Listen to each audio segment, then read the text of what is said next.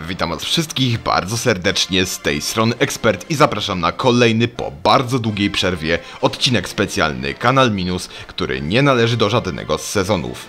Dzień 5 grudnia jest dla polskiej telewizji w pewien sposób szczególny, gdyż to właśnie tego dnia w 1992 roku wystartowała pierwsza w Polsce prywatna stacja telewizyjna, mianowicie Polsat, który w tym roku obchodzi 30-lecie nadawania.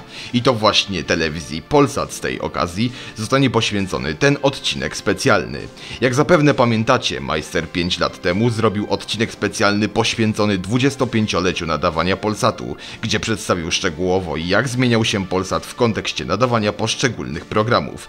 I dziś nastąpi kontynuacja tego tematu, czyli co się wydarzyło w przeciągu kolejnych 5 lat. Na sam początek wróćmy na chwilę do 2017 roku, gdzie dzień przed 25-leciem nadawania telewizja Polsat wykupiła w pełni kanały Polo TV, SK TV, SK TV Extra, SK Rock TV, Vox Music TV, a także 34% udziału w kanałach Focus TV i Nowa TV, które wcześniej należały do grupy ZPR Media. Oprócz tego w maju tego roku zostały uruchomione dwa kanały Tennis Premium i na tym zakończymy historię Polsatu z 2017 2017 roku i od razu przechodzimy do 2018 roku. Na początku lutego telewizja Polsat powiększyła swoje udziały w kanałach Focus TV i Nowa TV, osiągając 49%. Również kilka dni później nastąpiło zakończenie nadawania kanałów Tennis Premium 1 i 2. W maju telewizja Polsat zakupiła 50% udziałów w spółce Eleven Sports, uzyskując również połowę udziału, u, udziałów kanałach Eleven Sports 1, 2, 3 i 4. Pod koniec sierpnia Polsat nabył prawa do transmisji Ligi Mistrzów i Ligi Europy UEFA, w związku z czym uruchomił dwa kanały premium, czyli Polsat Sport Premium 1 i 2. Oprócz tego uruchomiono cztery serwisy Polsat Sport Premium 3, 4, 5 i 6 pay-per-view. W październiku Polsat uruchomił dwa nowe kanały, czyli Polsat Games zwrócony do graczy oraz Polsat Rodzina, czyli kanał o charakterze rodzinnym. I na tym historia Polsatu z 2018 roku się kończy. W 2019 roku co do nadawania poszczególnych kanałów wydarzyło się niewiele, praktycznie nic. Natomiast w głównym Polsacie po 13 latach nastąpiła zmiana oprawy graficznej i muzycznej. Pomarańczowo-białe pasy zostały zamienione na logo wynurzające się z pomarańczowego tła. Również lekkiej modyfikacji zostało poddane logo podczas emisji programu, gdzie dolny dymek został lekko przyciemniony, a dymek w tle napisu premiera na żywo i tak dalej został usunięty. W 2020 roku telewizja Polsat nawiązała współpracę z firmą Paramount Global, czyli właścicielem takich stacji jak Comedy Central czy Nickelodeon. W związku z tym kanał Comedy Central Family został zastąpiony kanałem Polsat Comedy Central Extra.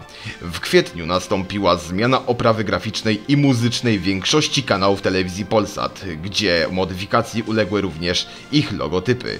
Wraz ze zmianą oprawy graficznej nastąpiło zakończenie nadawania kanału Polsat Polsat Romance, na miejsce którego uruchomiono nowy kanał Polsat Seriale. We wrześniu Polsat staje się całkowitym właścicielem kanałów Focus TV i Nowa TV. I na tym historia Polsatu z 2020 roku dobiega końca. Pod koniec lutego 2021 roku kanał ATM Rozrywka, który był realizowany przez telewizję Polsat na spółkę z ATM Grupą, kończy nadawanie z powodu wygaśnięcia koncesji. W kwietniu w cyfrowym Polsacie zostają testowo uruchomione trzy kanały Polsat X, Polsat Film 2 i Polsat Reality w przekazie zakodowanym i w połowie 2021 roku gruchnęła informacja, że po 15 latach Polsat zmienia swój logotyp. Dotychczasowe słońce zostało zastąpione złotą pasiastą kulą symbolizującą słońce. Zmiana ta dotyczyła również pozostałych kanałów Polsatu, gdzie została zmieniona kolorystyka pod każdy kanał. Kanały tematyczne posiadały również własne wersje Słońca, z których ostatecznie niestety nie skorzystano. Nowa oprawa graficzna i muzyczna została wprowadzona pod koniec sierpnia i niestety była taka sama dla każdego kanału. Dodatkowo 1 września telewizja Superstacja została zastąpiona kanałem Wydarzenia 24. W 2022 roku, a dokładnie 16 stycznia, sygnały kanałów Polsat X, Polsat Film 2 i Polsat Reality zostały omyłkowo udostępnione, po czym po chwili zostały one z powrotem zakodowane. I w październiku tego roku kanał Muzo FM został sprzedany grupie ZPR Media. To wszystko w dzisiejszym specjalnym odcinku. Polsat nadaje już 30 lat.